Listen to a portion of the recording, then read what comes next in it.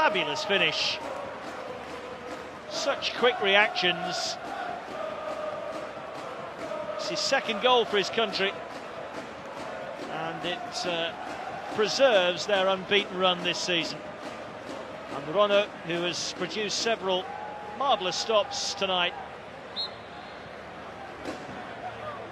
couldn't keep that one out. It's passed him before he's got his hand across. No great surprise from that.